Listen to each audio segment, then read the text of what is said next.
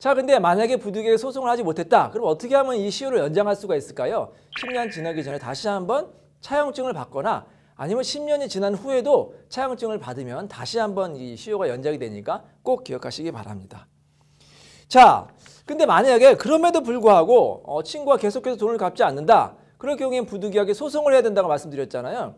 근데 소송을 하기 전에 반드시 해야 되는 게 있습니다. 그게 바로 뭐냐면 친구가 재산을 빼돌리기 전에 친구의 재산을 묶어두는 거예요. 그걸 바로 가압류 가처분이라고 할 수 있습니다. 친구가 재산을 빼돌리기 전에 소송과 동시에 또는 전에 반드시 가압류 가처분을 하셔야 되고요.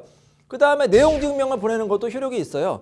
아, 예를 들어서 내용 증명은 제가 이제 준비를 해왔는데 이렇게 대여금 지급 청구 내용 증명해서 자 친구 누구 누구는 어, 나한테 돈을 언제부터 껐으므로 언제까지 어, 변제 받으시기 바랍니다. 이런 내용을 소송 전에 이제 내용 증명을 보내면 친구가 아 이거 안 되겠구나 해서 돈을 갚는 경우가 있으니까 내용 증명도 한번 참고하시기 바랍니다. 그럼에도 불구하고 친구가 돈을 안 갚는다. 그럴 때는 부득이 소송을 해야겠죠.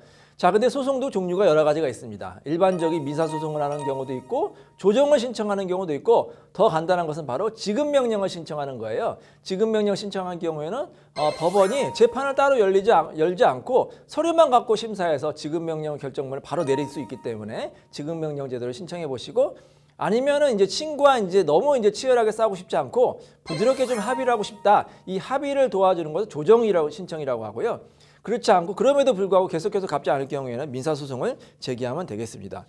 자, 근데 예를 들어서 어, 내가 이제 어떤 여자분 가정주부한테 돈을 꿨는데 이 가정주부는 돈이 별로 없어요. 근데 남편은 아주 부자예요. 그러면 아내 대신 남편한테 돈을 대신 갚아달라고 청구할 수 있을까요? 안 됩니다.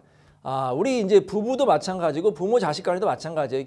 별개 인격체이기 때문에 꿔준 사람에게만 청구할 수가 있고 그 배우자라든지 가족에게 청구할 수가 없습니다. 근데 이럴 수는 있겠죠. 예를 들어서 내가 어, 아내한테 꿔줬을 때 변제 자력이 있는 남편의 보증을 받는다든지 아니면 그 가족 아들이나 딸의 어, 인적 보증을 받으면 은 그 사람한테 나중에 보증 책임을 물을 수도 있습니다.